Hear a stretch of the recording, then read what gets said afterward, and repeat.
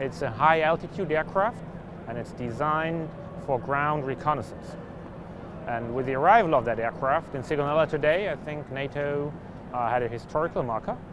Uh, for the first time, after 22 hours, an aircraft, NATO aircraft, was ferried from California to Sigonella.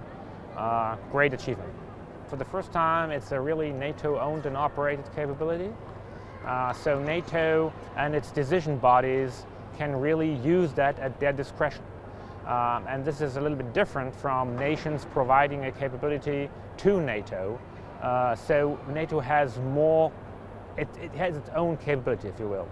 Today it started its journey in California. Uh, took about 22 hours and it flew nonstop here, which was actually not even the limit of its endurance. It has a 30 hour endurance. And to put that in perspective, it could fly from the North Pole to the South Pole nonstop if it wanted to. So it got here, but it's, uh, it's about two thirds of a fuel tank.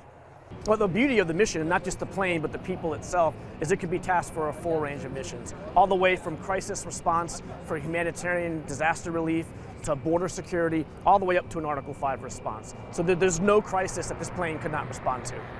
Host nation Italy has been fantastic. They provide this hangar, they're doing the construction work. Uh, they, as you heard me talk earlier, they gave the license and registration, never been done. Uh, so they just stepped up to the plate.